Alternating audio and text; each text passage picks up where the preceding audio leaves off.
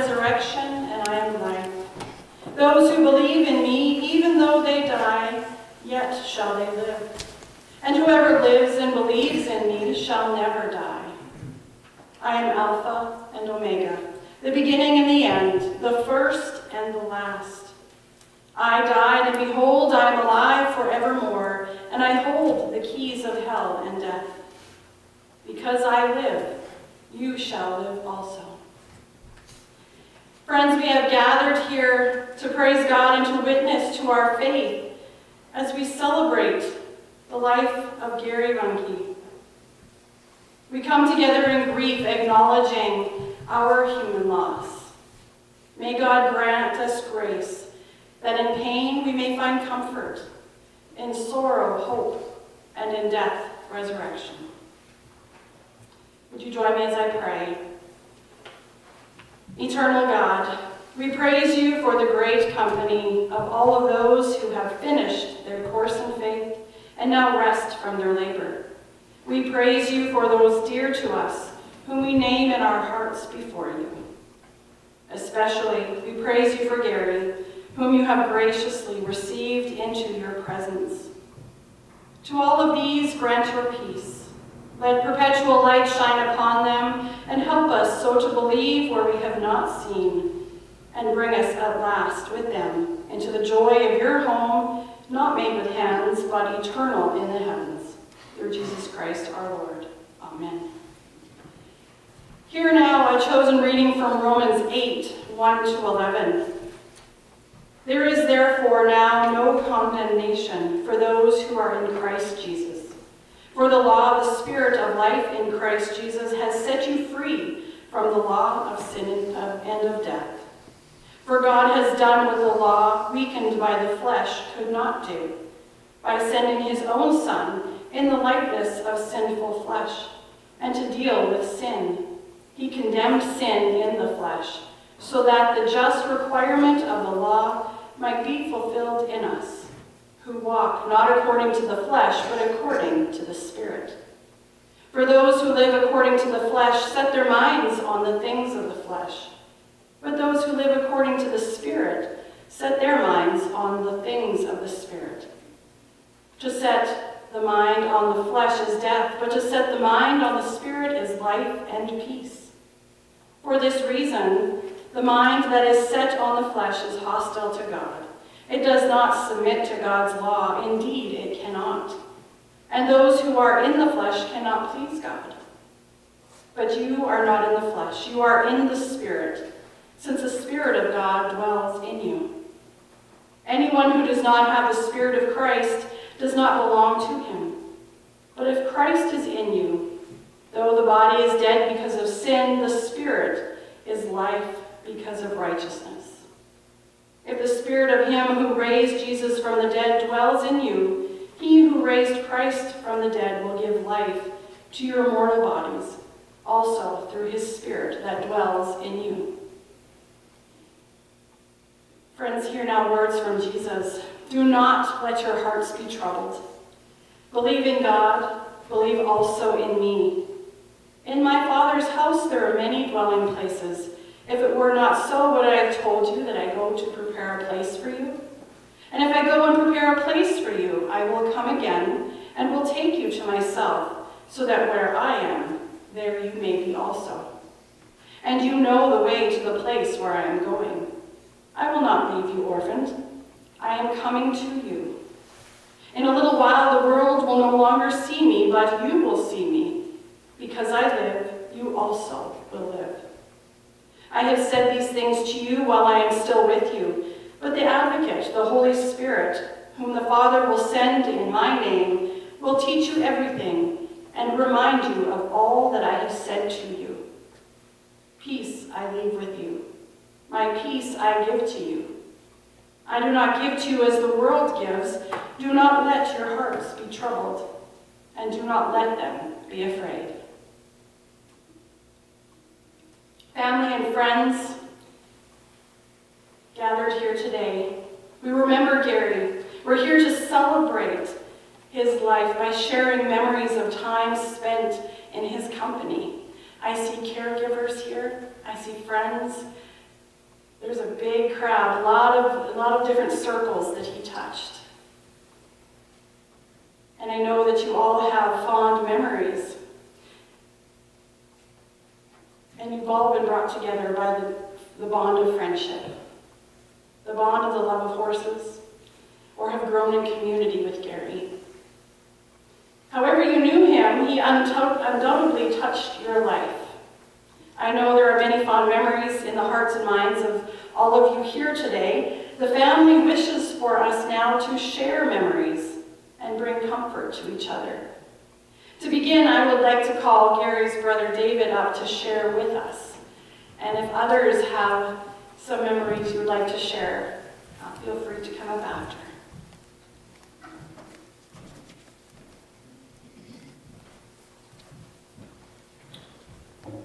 well, thank you everyone for coming today. I got a bit of a frog as you can hear, but uh, hopefully we can get through that okay. In the uh, folder there was a what's called the Cowboy's Prayer. And when I was looking at that, the one thing that stood out particularly above all else was the fact of the very last line, which says that our entry fees have been paid. And those entry fees, of course, are the entry fees to heaven. And those fees were paid by Jesus by his own blood. And that blood was the only thing that could pay those fees as none of us can do it by ourselves. Ephesians 1 7, Jesus is talking. He says, In him we have redemption through his blood, the forgiveness of sins according to the riches of his grace. Being redeemed means the price has been paid. That is a price that none of us can pay for ourselves. Only Jesus can pay it, and only with his own blood.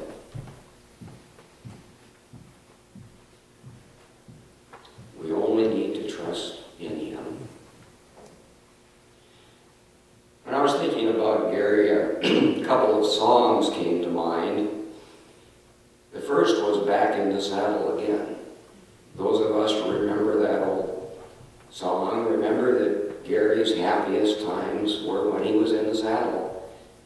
And if he can be in the saddle again, that would be heaven for Gary. Another song was Mamas Don't Let Your Babies Grow Up to Be Cowboys.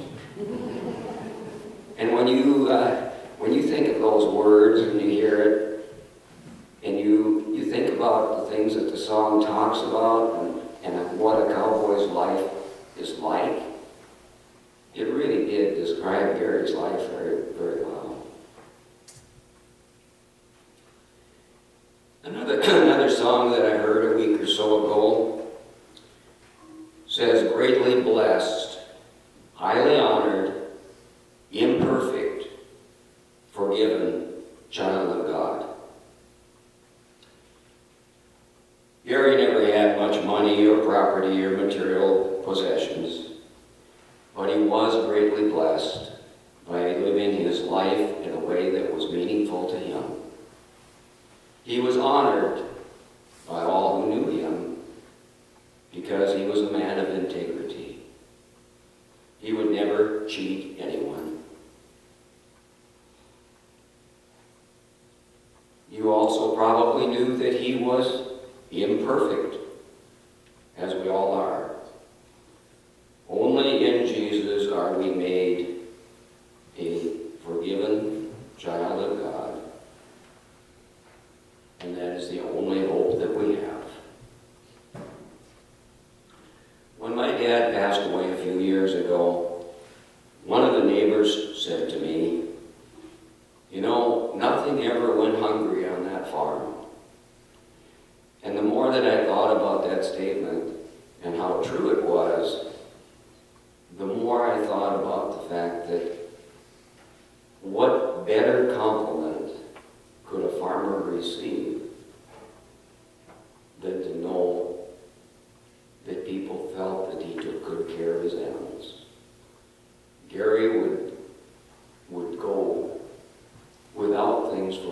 himself in order to provide for his animals.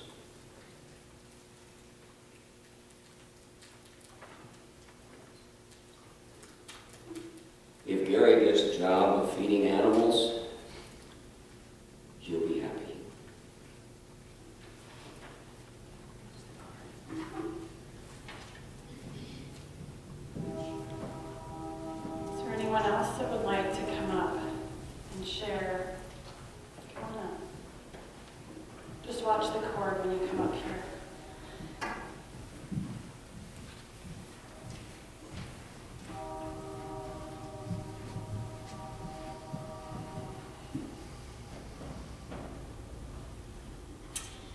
name is Donna Harvey.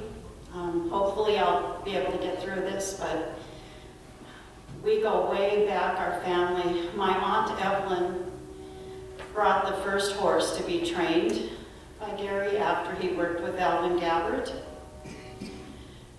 And it just led to a whole string of horses from there forward from our family. And a lot of people in the business don't have the greatest reputation because they're kind of just always want to seek to make money on, on, on a horse. Gary was the most honest horse person that we've ever, you know, had the privilege of working with. You might have brought a horse to him in the spring of the year to get 30 days and it had winter hair then, and you might have picked it up that fall and it had a new coat of winter hair. But he never charged board, he only charged for the 30 days that he rode the horse. And you know he wasn't, it wasn't a money-making proposition for him at all at that time. But it was his life, it was what he loved. I have so many stories, I'll try and keep them short so other people can share. But one story, we were at a horse show, and he had a couple of horses, and that was back in the day when there was no fancy barns or fancy arenas or anything. You tied your horses to the trailer that you brought them in. And he had one that was kind of naughty and he would paw. And then he brought a young horse with at that time who didn't have any habits until that day. And he came around the corner, around the trailer, and he's, and that one horse was way down. He looked like a Shetland pony. He pawed so deep into the ground, and it was hard, hard-packed sod. And then he, and then the other one was doing, starting to do the same thing, and he said, all he could say was, now look what you got him doing. That was as much of a scolding as Gary would ever do. You never heard him swear.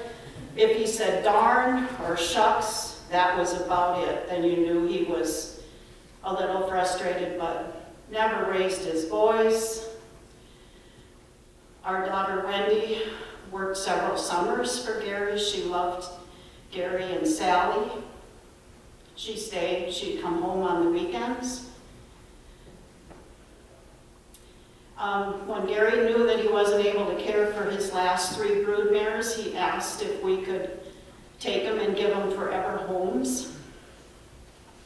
We still have one of the brood mares. Her name is April. She was a Tiffany's last colt. She was an orphan.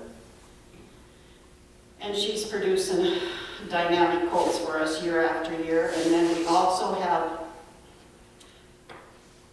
a daughter of his buttermilk buckskin mare that he called Buttermilk, that he dearly loved. And she's five year old, five years old now, and she is probably far and away the best horse that we've ever raised, and we've been doing it a lot of years. She's perfect conformation. She's a buckskin, and she's just the most smooth horse to ride, and my granddaughter hopefully is going to have a show career with her. But my um, 90-year-old mom knew I was coming today. She's in assisted living right now. And she said, you go and you say a few words if you can. Because Gary was one of the good ones. And one other story that I had, you know, David was mentioning how he cared for his animals. And we were at a show in Watford City, and it was also kind of a trail ride. And my stepdad always just worried about if he was going to miss a meal. And he happened to end up riding with Gary. And Gary was hauling horses. And he said, well, we're going by all the restaurants. Aren't we going to stop and eat? And Gary said, oh, no. He said, these horses are getting cared for and put away first. So, but as I was kind of thinking of, well, the memories, I can, I I could go on all day, but I want other people to be able to share too what he meant to our family. Thank you. Anyone else?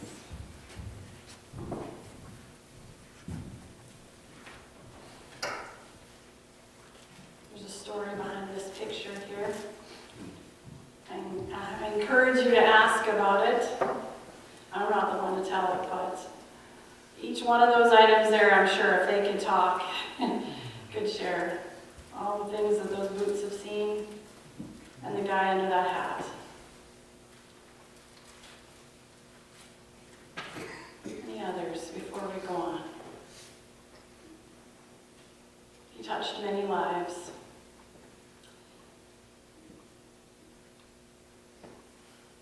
As we fellowship at lunch and in the coming days, may these stories bring you comfort and smiles.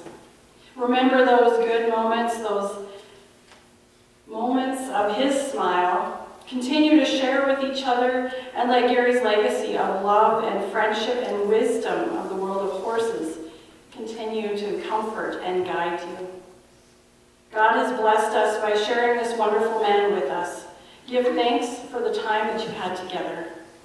Rest in peace, Gary. Until you all meet again, your memory lives in each one that is here.